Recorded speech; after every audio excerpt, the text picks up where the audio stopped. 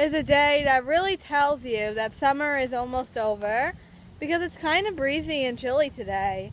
I mean, you don't have to wear a jacket, which is good, but I have to say it's kind of like more September-ish weather. You know what I'm saying? It has to be like 70 degrees, it feels like. And also, school starts in, sorry, motorcycle guys coming by. School starts in two weeks. Hello, we're nearing September, which means back to the school for the kiddies. Can you talk a little bit louder? Oh, I say we're nearing September. That's back to the school for the kiddies. Unfortunate for them, but for everybody else, it'll be a change of weather. But even in New York, September is usually a, a decent month. It doesn't really get cold around here in Long Island till uh, right after Halloween. Then comes the cold. So we're not looking forward to that, but we still have probably two months of nice, moderate weather. So that's where we are. So, um, next week, like on Saturday, like on the 24th, is the town's carnival. And it's not like that other carnival we went to in May.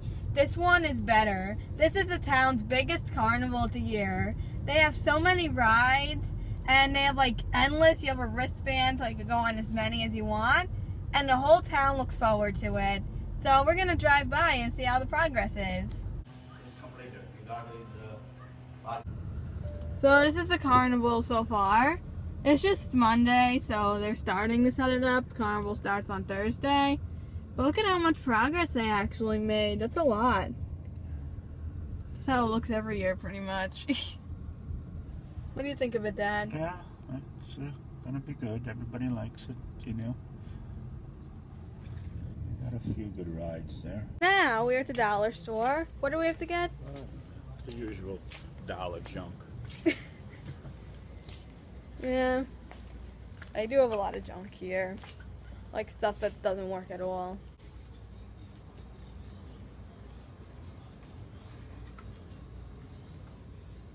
Did you realize you can get that at Petco or PetSmart? Yeah, I know. Cheaper here.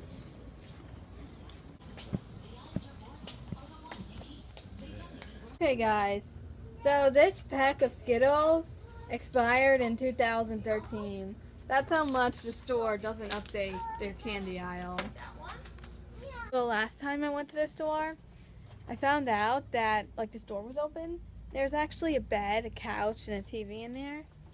Someone actually lives there as like an apartment or something, and they have their whole food supply and everything. At the moment, the guy was playing video games. It would be kind of rude to like vlog it to show you, but like I was just saying like that I saw it because now the door's closed and I don't even know if he's in there at the moment. So that's kind of a funny thing how people could like live in certain places. What are you looking for, Dad? Cheap reading glasses. Everything's cheap. Oh, how much? Five ninety nine.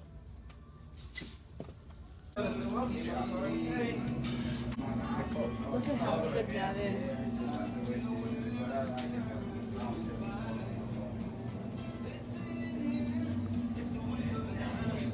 Shocked because when I looked at the weather, it actually said that it's 84 degrees. And I guess we're so used to having 90 degrees and 100 that um, 80 feels kind of cold to us. Not cold, but a little cooler. Not cold.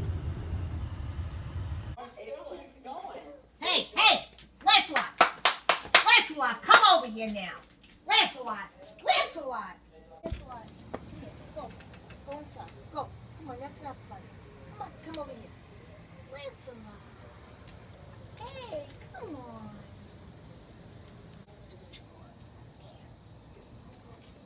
Is Lancelot giving you trouble?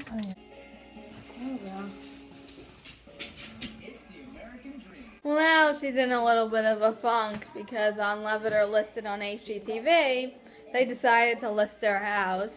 To me, it doesn't really make a difference, but to her it does. You gonna be okay, Daisy? Yeah. Don't worry. We're strangers and we're never gonna know them. Yeah, it's so cute. All right, so when I, you have to. I'm half dead and I'm going out to get sundaes for Jennifer and Julie. And to get ready for bed, I have to hear no, and yet look what I'm doing. Life is not fair. The end. Thanks for watching.